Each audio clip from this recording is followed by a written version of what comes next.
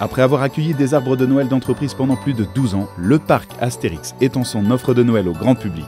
Venez glisser sur les pistes et découvrir. Mais qu'est-ce qui vous a pris? Noël, froid, neige, ça c'est la montagne. Bon, la Compagnie des Alpes en connaît un rayon, mais les parcs, ça ferme en hiver. On se souvient du rendez-vous manqué en 2008 à cause d'un enneigement record.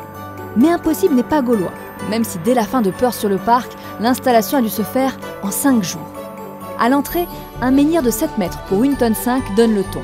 Sur les 600 sapins naturels du parc, 150 floqués de blanc mènent au village de Noël avec son Père Noël gaulois. Mais interdit de toucher aux tenues des personnages officiels. Pour mêler Noël et BD, les équipes ont dû ruser, avec ces menhirs aux couleurs d'idées fixes et bien d'autres. Déco traditionnelle et déco gauloise également sur le sapin central, un géant. Depuis 2007, les équipes le choisissent dans le Morvan, chez le même éleveur que celui de l'Élysée. 100% made in France, issu d'une culture raisonnée et certifiée de nombreux labels environnementaux, c'est aussi un véritable défi. Essayez donc de faire tenir droit un colosse de 12 mètres.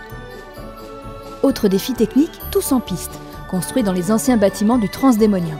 Au départ, il était prévu une grande tente de 3000 m2, mais après études environnementales et prévisions, on a pensé aux 1,5 hectare du train fantôme, qui laissait de belles possibilités.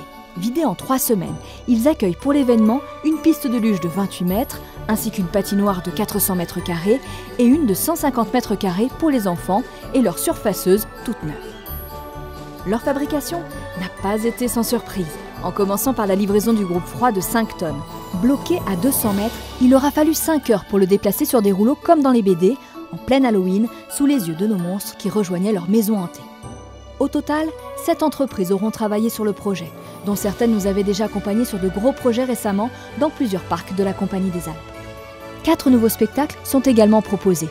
Avec 13 représentations par jour, ça fait 180 shows sur la saison. Un rythme intense pour les artistes, en équipe doublée, qui ont monté tout ça en une semaine.